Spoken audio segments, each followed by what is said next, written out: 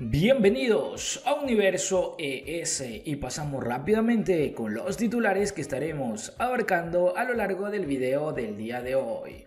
Salvadoreña, ficha por Querétaro de México. La selección sub-17 entra en su recta final de preparación de cara al premundial a disputarse en Guatemala de la categoría sub-17 caras nuevas en las convocatorias, fecha y cuándo se lanzará la convocatoria final y también sobre el cronograma de preparación ya para esta recta final. Si quieres ampliar más esta noticia, ya sabes, quedarte hasta el final de este video y El Salvador tendrá nuevamente representante en la Dallas Cup 2023. Equipos de la primera división en peligro podrían perder la categoría en el escritorio. Quédate para que puedas ampliar esta y más novedades. La FIFA presentó la nómina oficial de salvadoreños que portarán la escarapela FIFA para este año 2023, es decir, que puedan pitar en torneos internacionales FIFA con CACAF. Y recuerda que si quieres salir en próximos videos, no te olvides de hacérmelo saber en la cajita de comentarios. Suscríbete, comenta y comparte con tus amigos. Es muy importante. Enciende la campanita para que YouTube te notifique siempre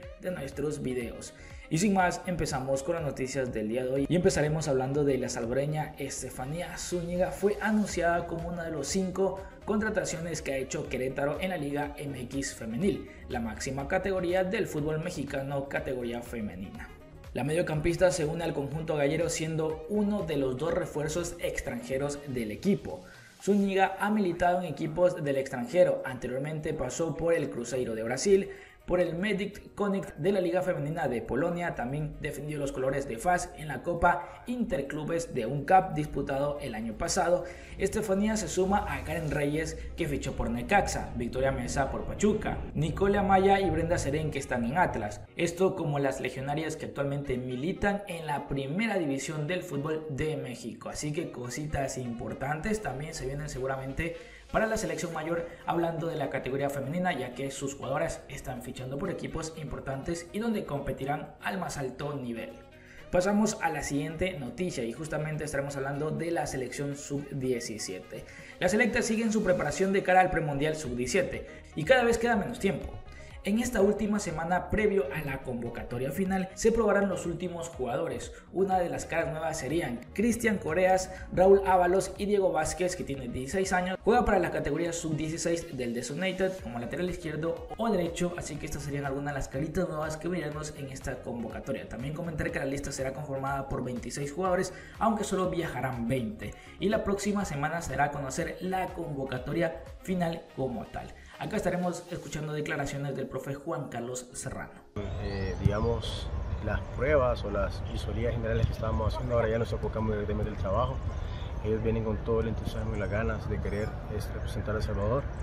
Y pues eso es lo que todos tenemos, el entusiasmo, el deseo de poder competir y poderlo hacer de una buena, de una buena forma. Por eso nosotros eh, muy poco pudimos descansar, bueno, desde el periodo que teníamos de trabajo, muy poco para poder adelantar y ya arrancar este mes con toda la disposición y con todo el deseo y el entusiasmo para poder estar bien.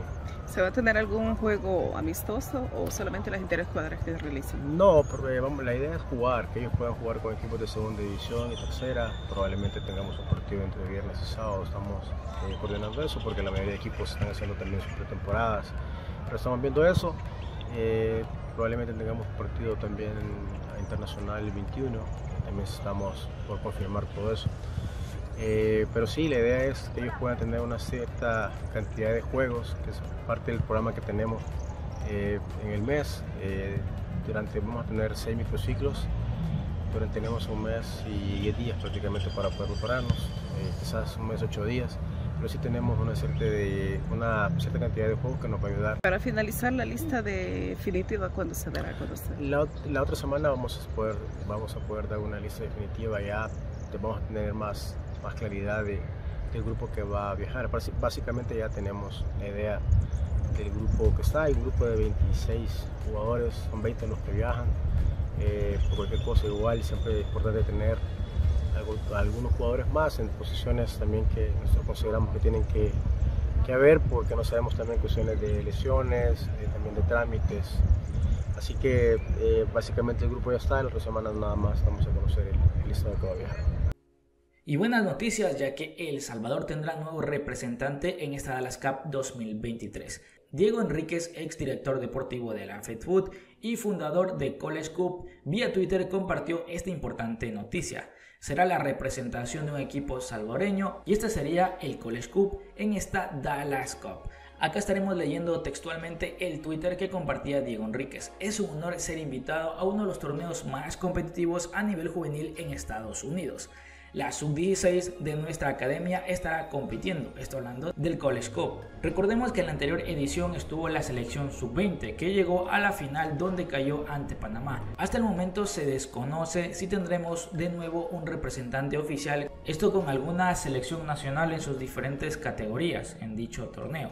Pero como sabemos, pues sí tenemos la representación de un equipo salvadoreño como tal que sería el College Cup de Diego Enríquez. Y en la siguiente novedad estaremos hablando de los equipos de la primera que podrían peligrar o perder la categoría en el escritorio. como es esto? Los equipos de la primera división deben cumplir este jueves con la inscripción federativa para participar en el clausura 2023. De no tener el aval de la FedFood, estos perderían la categoría al ser desafiliados. Para cumplir con este trámite, cada institución tendrá que demostrar estar solvente en lo económico con el plantel que finalizó el torneo pasado. Tampoco que tienen pendientes demandas ante la FedFood.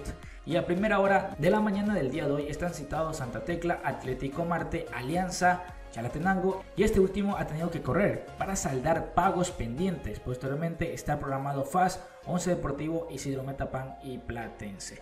Para la tarde estarían citados Águila, Jocoro, Dragón, Firpo, este último con procesos pendientes ante la federación por la demanda impuesta por el exjugador Luis Canales, esto por temas económicos también. Sin embargo, los directivos taurinos, quien ya habrían saldado pagos atrasados, detallaron que están con todo en regla para cumplir con los requisitos solicitados por la federación.